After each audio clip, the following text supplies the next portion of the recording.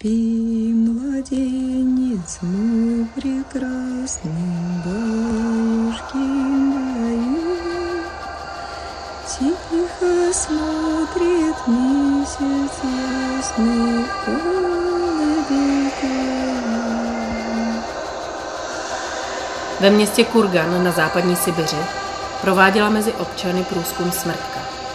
Zajímalo je, zda by raději skončili v ráji, nebo prostě chcípli. Na prsou nesla ceduly, na níž stála slova Vladimíra Vladimíroviče Putina, která pronesl ve Valdejském mezinárodním diskuzním klubu. My, jako mučedníci, skončíme v ráji. Ale agresor prostě chcípne. Nestihne se ani kát.